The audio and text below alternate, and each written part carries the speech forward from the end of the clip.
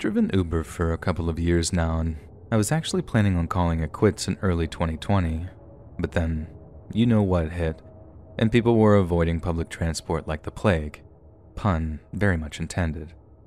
So it didn't really make sense to do anything else for the time being. I still do it today, meaning I've been officially driving for Uber for three years and four months as of this October. In that time, I think I've given rides to literally thousands of different people, the whole spectrum the good, the bad, and the ugly.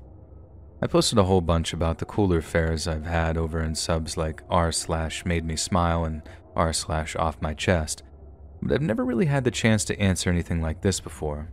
I don't really like to talk about some of the crazy or frightening passengers I've given rides to, and I hope by the end of this you can understand why.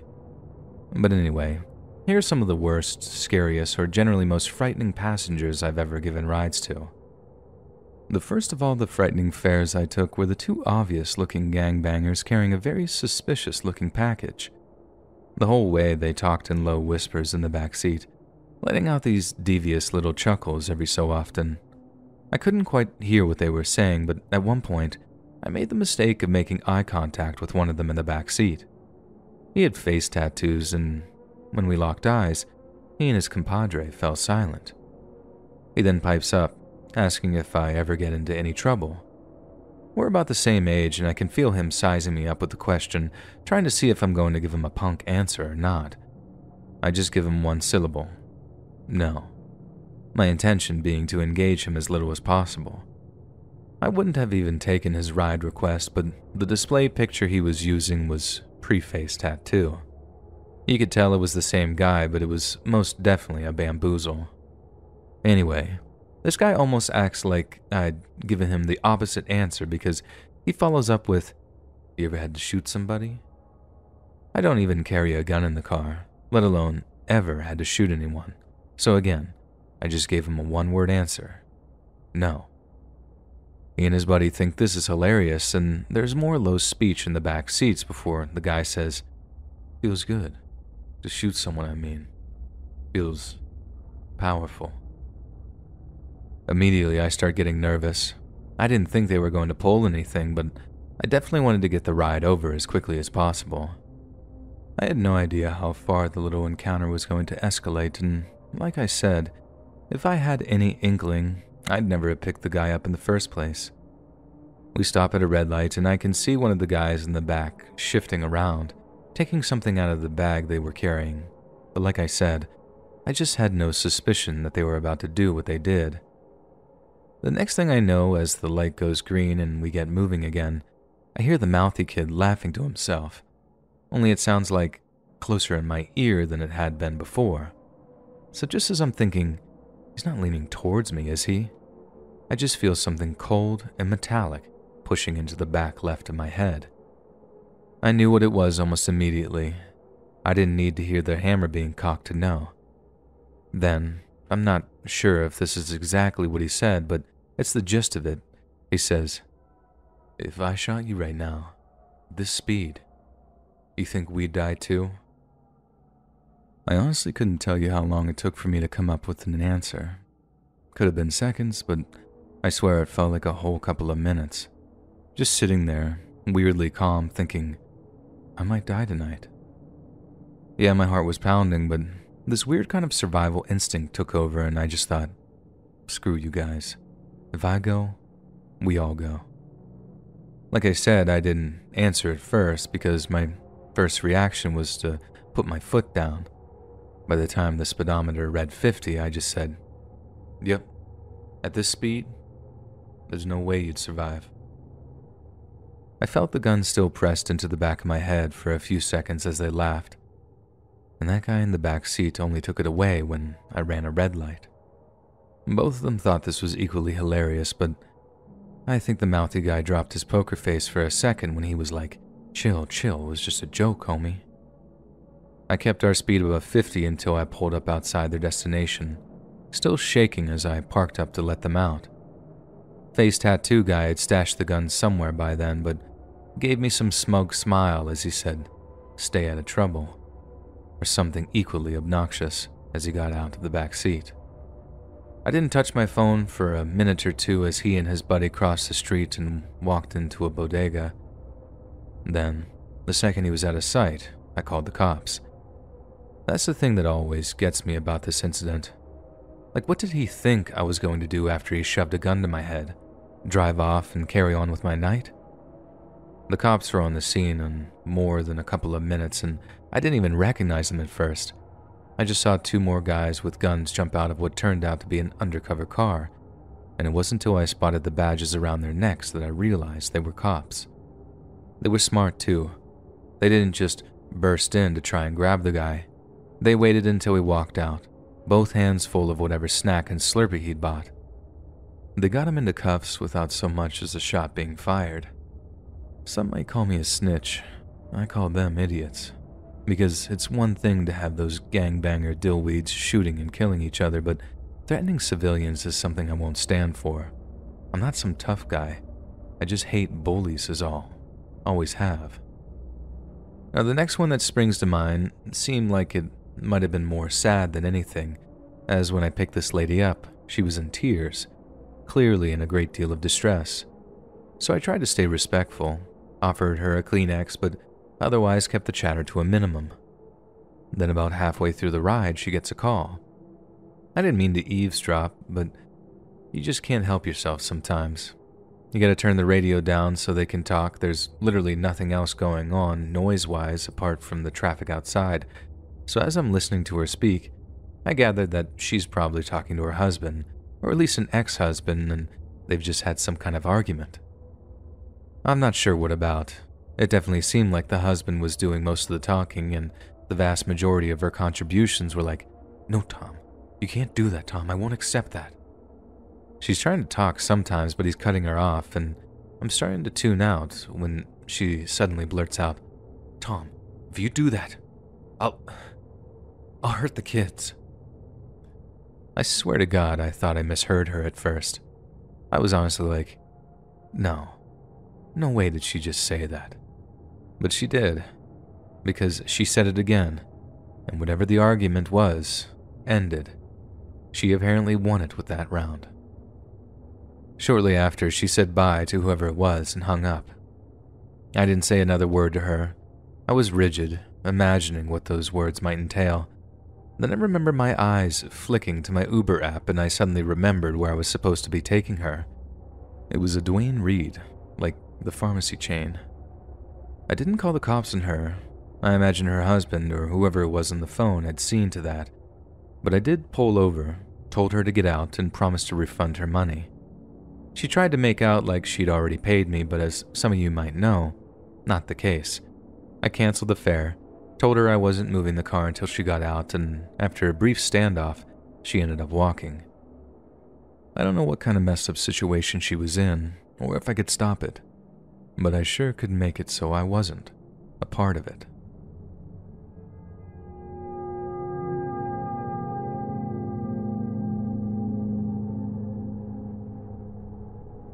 I live here in Los Angeles, and as you probably already know, if you don't have a car here, you're pretty much screwed, and because of this very reason, Uber and Lyft are a hugely popular alternative to buses and trains. I've only ever had one bad Uber driver, but Boy, was he bad. And although I'm pretty sure the company fired him in the aftermath, it left a really bad taste in my mouth for some time after, and I took a long break from rideshare apps in the aftermath. So I took a routine Uber from La Brea to Crenshaw, and just as I'm about to get out, the driver asked me if I'm going to give him five stars. Normally, I'd just have said, yeah, sure. But this guy was late, he wasn't even remotely friendly, and I just overall got bad vibes off the guy, so instead of giving him a straight yes, I was like, I don't know, maybe, we'll see. Then I go to climb out of the back seat. I just hear click as the doors in the back seat lock up. I can't open the doors, and I give the guy a look like, very funny. He just comes back with, Give me five stars, and I'll unlock the doors.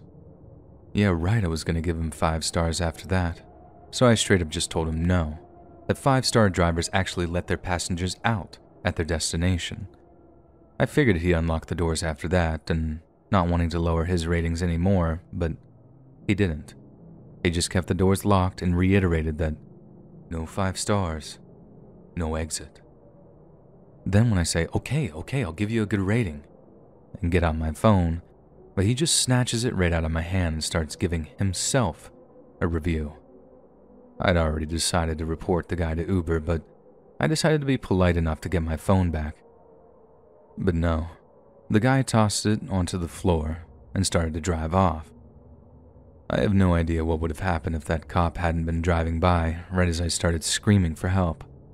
He pulled the Uber over, and I got out as the driver tried explaining that it was all just a miscommunication.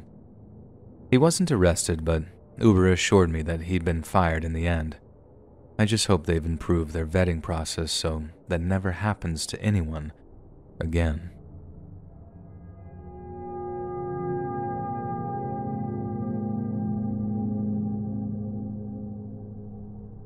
Just over two years ago, I picked up the most important fare of my brief career in cab driving. I'd lost my job as a manager of a coffee shop I'd been working at, so in order to pay rent, I signed up to Uber in order to make ends meet. At first, it was a real godsend, and I'll throw out a trigger warning for cliches before I give you the usual spiel of I was able to set my own hours, be my own boss, and meet cool people for a living. I know, it's old news by now, but it's true. And considering it was something of an occupational low point for me, it wasn't actually all that bad. But then I met Amy. Amy isn't this girl's real name, but by the end of the story, I'm sure you'll understand if I tweak the details to protect the innocent, so to speak. Amy was pretty, had a four star rating, tipped well, pretty much your dream passenger. But she was so much more than that to me because I've never hit it off so well with a girl in such a short space of time before. It started out with me asking how her day was after picking her up around 6 on a Friday evening. She was cheerful, said she had an okay week, but said she was swallowing the frog, so to speak, by heading over to an ex's place to pick up some leftover belongings. If she got it out of the way then, she could just enjoy the rest of her weekend without worrying about it. Yeah, I didn't know what swallow the frog meant either, but according to her, it was a Mark Twain quote that goes something like this If the first thing you do in the morning is to eat the frog, then you can continue your day with the satisfaction of knowing that this is probably the worst thing that will happen to you all day. Basically, get all the terrible things done early so you can just chill for the rest of the day. I like that idea, and it made me like Amy even more. We went from talking about her ex to talking about quotes we liked to literature and sports it was a total scatterbrained conversation, but we seemed to match or complement each other at every turn. By the end of the ride, I had actual butterflies in my stomach, and when I promised to pick her up again soon if she'd ever needed a ride, she was like, Why wait? She tore off a piece of paper from her purse, wrote her number on it with some makeup stick, and then handed it to me. I felt like I was on top of the world. I really did. She was smart, funny, and incredibly cute, and for some reason, she seemed interested in me, of all people. I was so excited at the prospect of taking her out somewhere that I had to refrain from texting her almost right away. Gotta play it cool, right? So, that's what I did. I tried to keep my mind on work, let her do her thing, then maybe text her in the morning. But I couldn't even wait until then. When I finished my fares, I sent her a quick one to be like, just let me know if you're free for coffee over the weekend. Then I had some dinner, played some Xbox, then went to sleep at around 3 a.m. The next thing I know, I'm waking up to the oh so familiar sound of my phone vibrating against my bedside table. I roll over, open one eye, and see unknown caller on the screen. And the first word that pops in my half asleep brain is Amy. What she'd be doing calling me from an unknown number when I already had her saved in my contacts, I don't know, but in still trapped in my sleepy ignorance, I answer the phone, expecting it to be her.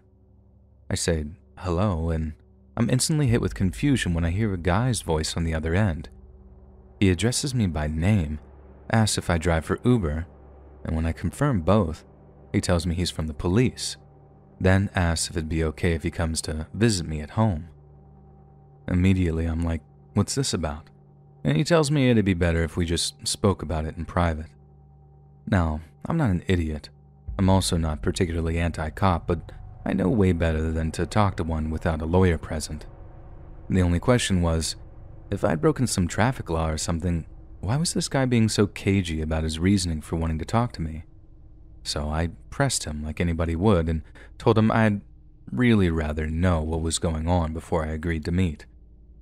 He sighs, agrees, then starts telling me how one of my Uber passengers had been reported missing and that he was hoping I'd be able to help with the investigation. I know this is stupid. In fact, in light of what I said about keeping my mouth shut, what I did next was titanically moronic, but I just blurted out, Amy? There was a slight pause, and the guy just goes, I think we need to have a chat, don't you?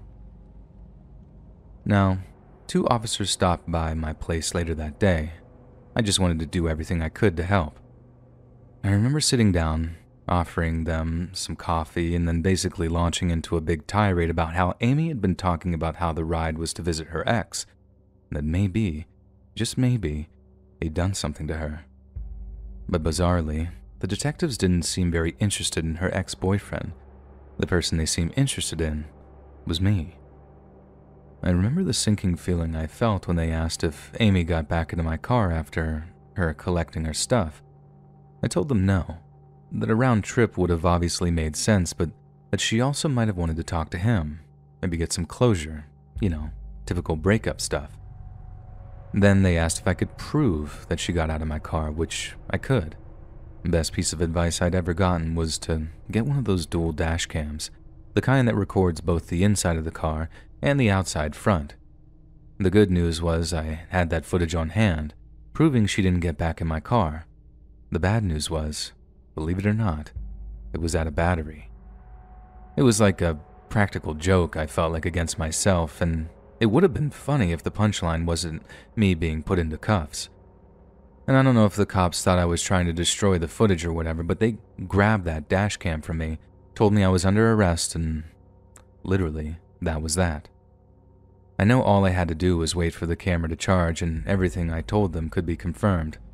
But good God, man, sitting in that cell, catastrophizing that the camera was broken and that I'd have a murder charge pinned on me. It was without a doubt the most terrifying few hours of my life, and just when I felt like I was about to lose my mind with worry, an officer opened up the door and basically just told me, ah, Sorry about that. You're free to go. I was still trembling as they booked me out of there and asked me if I needed a taxi or an Uber, and those idiots didn't even give me a lift home. I was really, really angry with the police until I was asked to appear in court. After that, I understood why they suspected me. Amy's ex boyfriend hadn't just killed her and disposed of her body, he'd come up with an elaborate plan to frame whatever taxi driver dropped her off. He played the heartbroken boyfriend, faked text messages, and even edited security camera footage, believe it or not. This all ended up getting used against him in court, but at face value, you could see why the police had me down as their number one suspect. It was actually the ex boyfriend that reported her missing in the first place. He called the police right after he'd finished dumping her body in some random land out in the rural area, telling them some sob story about how they'd just gotten back together and she wanted to pop back to her place to pick up a few bits before being driven back. To be honest, it was chillingly well thought out, and I think I'd have been grimly impressed if it wasn't for the fact that I was supposed to be the fall guy. Thankfully, he got life in the end. I didn't go to any more of the court sessions, it was just too upsetting to see Amy's family all torn up like they were, so I heard the rest through the local and national news. I stopped driving Uber after that, not because I was overly traumatized or anything, Although I'd be lying if I said the whole thing didn't get into my head for a while after, more because I got a decent job offer for a management position at a corporate coffee shop. I went to a few therapy sessions, which honestly really helped because, for a while back there, I weirdly blamed myself for Amy's death. But as my therapist told me, if it wasn't me, it'd have just been some other driver, and we can't just blame ourselves for facilitating what are ultimately the sins of others.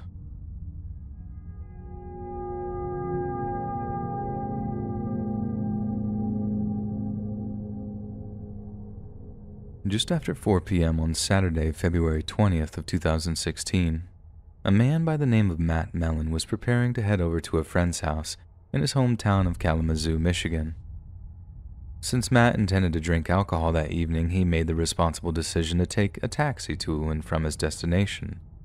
He got out his cell phone, opened up the highly popular ride-share app Uber, and requested a cab. At 4:21 p.m., an Uber employee driving a silver Chevrolet Equinox pulled up outside Matt's apartment. Matt climbed in, said hi to the driver, and they began their journey. Matt would later say the driver wasn't particularly warm, but this gave him no cause for concern and they promptly began their journey. At some point during the ride, Matt said his Uber driver received a call via Bluetooth earpiece. Although he couldn't hear what was being said, Matt said he assumed the call hadn't been good because as soon as he'd hung up, the Uber driver began driving extremely erratically. Matt said nothing at first, but when the Uber driver entered an oncoming lane of traffic, drove through a median strip, ignored a stop sign, and sideswiped a Ford Taurus, Matt became understandably terrified. He asked the driver to slow down, but his pleas were ignored, and the terror quickly escalated until Matt was begging the man to stop and let him out. Again, his requests were ignored, and Matt had to wait until the driver was forced to stop until we jumped out of a rear door and called 911. Matt gave local law enforcement as much information as he could regarding the Uber driver and license plate, and was suitably shaken and outraged by his experience. But in truth, Matt had no idea how lucky he was to be alive, as his driver had been Jason Brian Dalton a man whose violent descent into madness had only just begun. Born on June 22nd of 1970 in Greenfield, Indiana, little is known about Dalton's early years. We know he attended Kalamazoo Valley Community College, graduating in December of 1992 with an associate degree in law enforcement. But for some reason, Dalton didn't follow through with his dream of enrolling in the school's police academy program. In 1995, Dalton married his wife Carol who would go on to give birth to the couple's two children. Dalton supported his young family with jobs working for BMW, first as a mechanic and later as an insurance adjuster. Coworkers described him as a nice guy and a good family man, but one who also had something of a short temper. A former coworker who worked with Dalton at an insurance company remembers an incident in which Dalton began roaring at a customer over the phone slamming the handset down before pacing around the office, clearly in the grips of a furious rage. His coworkers said he and other employees found the behavior alarming, but Dalton later apologized, telling them that he was having a bad day, which apparently set their minds at ease. It's not clear how long before his mental break this was, but Dalton's madness would manifest in far worse things than just erratic driving. At 5:42 p.m., 25 year old Tiana Carruthers was walking near the Richland Township apartment complex when a silver Equinox aggressively pulled up next to her. Dalton was in the driver's seat. The woman said he called out to her, using a name she didn't recognize, but when she turned to inform Dalton that she was in fact someone else, she was met with a torrent of handgun fire. She was hit four times in the left arm, legs, and back, Yet despite her abject terror, she was smart enough to play dead so that the shooter might move on. And it worked. Satisfied he'd killed her, Dalton put his foot down and sped off into traffic, running a red light and smashing into another vehicle as he fled the scene. Carruthers would survive the attack, but her left arm had to be surgically reconstructed as a result of her wounds. It's at this point that something rather bizarre occurs something which indicates that Dalton may have slipped into some kind of fantasy world of his own creation. After firing on the woman near Richland Township, Dalton drove to meet his wife and children at his parents' place in Comstock Township. It's there he explained that his Equinox had been damaged by a disgruntled taxi driver who'd then fired gunshots at him after being enraged that his business was being eaten up by Uber. Although Dalton assured his wife that Uber's head office was dealing with the incident, he also gave her a 9mm Taurus handgun, telling her she may be in grave danger without it. He instructed her not to go to work, not to take their kids to school, and not to leave the house unless it was an emergency. Carol begged him for more answers, but it's apparent that Dalton told her that keeping her in the dark meant keeping her safe, and he'd shed more light on things once the crisis had blown over. He then switched vehicles, taking his wife's black Chevy HHR, and unbelievably, after almost murdering a woman in what amounted as a drive by shooting, Dalton carried on accepting ride requests using his employee's version of the Uber app. Those he gave rides to during this time said that there was nothing remotely untoward about Dalton, and he was warm, friendly, and drove as safely as can be. All until just after 10 p.m. when Dalton arrived at a Kia dealership in Kalamazoo. According to one witness, who was perusing potential purchases with her 17 year old boyfriend, Tyler Smith, and his 53 year old father, Richard, they were approached by a strange man who asked them what kind of vehicle they were looking for. The man didn't appear to be any kind of salesman, so it was with a degree of confusion that the men began to answer him. Yet as they did so, the strange man pulled out a handgun, shredding each of them with 18 bullets fired from an extended magazine. The witness ran for cover as another in a Burger King parking lot across the street pulled out their phone, filming the shooter as they fled the scene. The vehicle in question was a black Chevy HHR with Jason Dalton in the driver's seat. Ten minutes later, Dalton pulled up near the parking lot of a cracker barrel in Texas Township, just five miles from the road from the Kia dealership. Just as he pulled up, four people in two different cars were trying to exit the parking lot. Dalton reloaded his handgun, took aim, and fired. One witness observed Dalton as he exited his vehicle in the immediate aftermath of the shooting, before approaching one of the vehicles he'd fired upon. According to them, Dalton asked one wounded passenger a question, then, when she answered, he executed her with a single shot to the head. To this day, it's not clear what this question was, but it's more than likely Dalton would have executed her no matter what she'd said. There was no method to his madness. He desired only to kill. 14 year old Abigail Kopf was also shot during this incident, with the bullet smashing off an entire section of her skull. She underwent a number of emergency surgeries and would go on to miraculously survive the attack, despite losing her elderly 68 year old adopted grandmother, Barbara Hawthorne, in the process. Following both murders, the dispatch centers of the Kalamazoo emergency services were set alight with calls reporting the shootings. With the grim realization setting in that the city was faced with an extremely dangerous instance of a mobile active shooter. Thanks to new installed security cameras at the Kia dealership, the Kalamazoo Department of Public Safety were able to put out extremely accurate descriptions of both Dalton and the vehicle he was using, and the cops went into overdrive trying to track and arrest him. Yet, even more incredibly, Dalton actually continued to take Uber fares even as the subject of an intense police manhunt. At 12:04 a.m., he picked up three passengers before dropping them off at a dormitory on the Western Michigan University campus. These passengers later told police that Dalton wasn't overly friendly, but also did nothing to alert suspicion. Just minutes later, at 12:12 a.m., Dalton gave four people a ride to their hotel. During the ride, one of these hotel guests had been thumbing through social media on their phone and happened to come across reports of the recent shootings. They read the description of the shooter in the vehicle he was driving, and noted with morbid amusement that they were riding in a similar looking vehicle with a similar looking driver. You're not the shooter, are you? They reportedly asked Dalton. And no was all he said. Around 20 minutes later at 12:36 a.m., a Kalamazoo County police sergeant observed a black Chevy HHR dropping off some passengers. He followed the vehicle matching the license plate with that of their supposed shooter, and requesting backup before he made his move. Four minutes later, he and a fellow officer conducted a traffic stop on Dalton, who appeared to grab for something under his seat as they approached. The officers rushed him, pulling open his car door and dragging him out onto the pavement outside. Only once they had the cuffs on him did they realize Dalton was wearing a bulletproof vest, and a subsequent search of his car revealed that he was in the possession of two 9mm handguns, one Walther P99 and one Glock 19, neither of which he had a license for. Another 15 long guns were recovered from his home, and it became apparent that Dalton had prepared himself for a long and bloody standoff with pursuing law enforcement.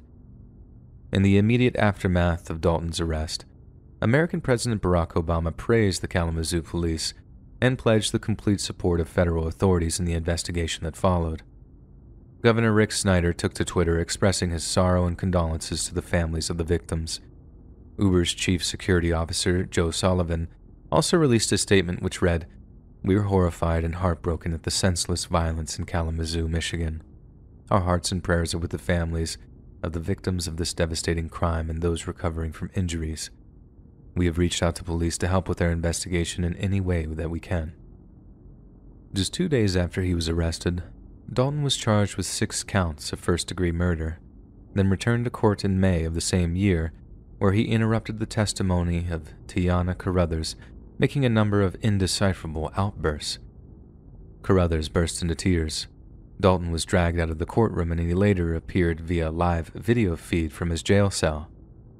Yet despite his initial belligerence, on January 7th of 2019, Dalton pleaded guilty to all charges and was later sentenced to life in prison with the possibility of parole to be served at Oaks Correctional Facility. To this day, it's not clear why Jason Dalton chose to kill six people on that fateful February night. He's never given a media interview, and he's never attempted to explain his behavior. However, one thing we do know is that following the pretrial proceedings, it became apparent that Dalton's attorneys would seek an insanity defense. He then underwent a 60 day psychiatric evaluation in June of 2016, conducted by the Michigan Center for Forensic Psychiatry in Saline. This evaluation was set to conclude on August 15th, but just three days prior, psychiatrists announced an unexpected six week extension to the evaluation. Then, when these additional six weeks were up, Psychiatrists stated their evaluation was still inconclusive, and Dalton was declared fit to stand trial. Again, it's not clear why the evaluation was extended for so long. It could be because Dalton's defense attorneys wanted to keep him detained until he could adequately trick his doctors into thinking he was insane. But it's also possible that Dalton and his motives proved completely indecipherable, that his timing and choice of victims were so random that head nor tail could be made of his bloodthirsty killing spree. Then, just when it seemed like he'd remained tight lipped about the murders, Dalton purported to tell his doctors why he'd killed that night. Dalton said that the iPhone can take you over, a report stated, adding, he recognized the Uber symbol as being that of the Eastern Star and described how a symbol of the devil would appear as a horned cow head before he had lost control of his body. Dalton also stated that he never really aimed when shooting, and that somehow the devil directed his bullets into those he fired at. It's unclear if his doctors believed him or not, but what is clear is that a man who tried very hard to seem insane was eventually declared mentally fit to face punishment for his crimes. His true motives might always remain a mystery, but we live in a world where there is little time to reflect on just one madman with a gun. There's always another, and another, in an unceasing cycle of bloodshed, grief, and death.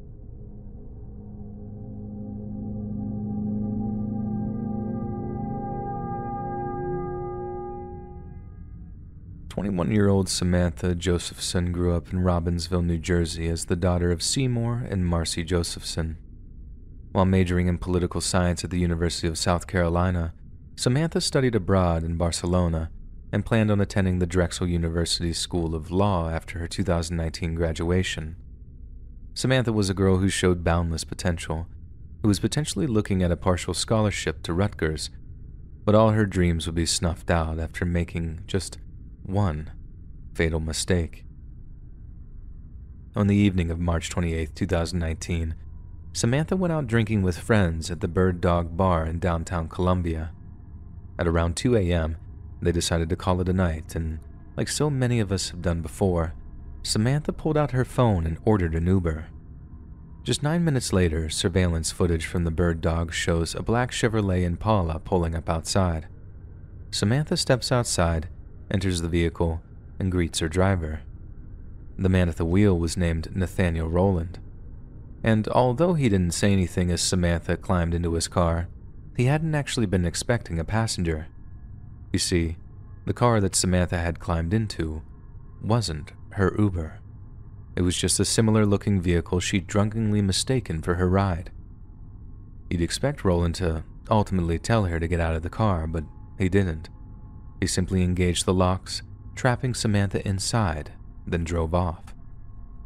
It's not clear whether or not Samantha realized her mistake before Rowland stopped the vehicle, but at some point, Rowland parked up his Impala, pulled out a knife, and inflicted a sustained and savage attack upon the terrified Samantha. Using a bizarre looking two bladed knife, Rowland proceeded to stab Samantha 120 times.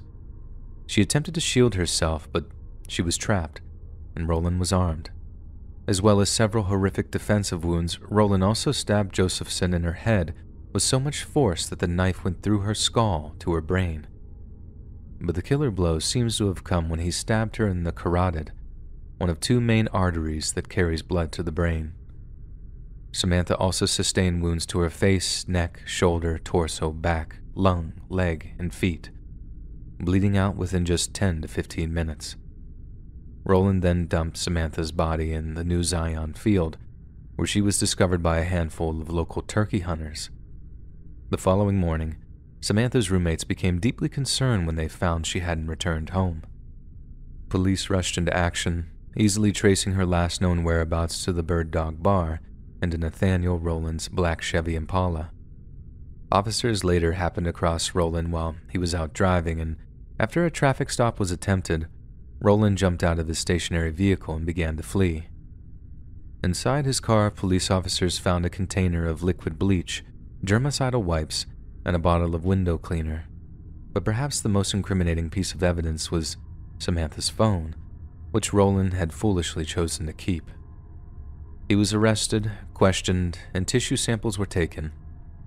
Disturbingly, the tissues under Rowland's nails tested positive for Samantha's DNA, meaning whatever he was doing after he'd killed her, it had been rigorous enough for particles of her skin to become embedded under his nails. Rowland was soon charged with Samantha's kidnap and murder, and it became apparent that Samantha wasn't his first kidnapping victim. He had apparently carjacked a woman at a stoplight in October of 2018 and was extremely violent in the commission of the crime, beating her and threatening her before they drove to an ATM to almost empty her bank account. In July of 2021, Rowland was found guilty of kidnapping and murdering, with a judge sentencing him to life in prison. This same judge, a veteran of the legal circuit, said the murder was perhaps the most heartless and severe he'd ever seen, denying Rowland's request for leniency. It's also easy to see why. Rowland displayed some horrifying predatory behavior. When a stranger accidentally climbs into their car, most correct thinking people simply laugh it off, perhaps getting a little prickly if they're in a bad mood. But Rowland found a stranger climbing into his back seat, and his first thoughts were nothing short of bloodthirsty. Samantha Josephson made an honest and simple mistake, and Nathaniel Rowland made her pay with her life.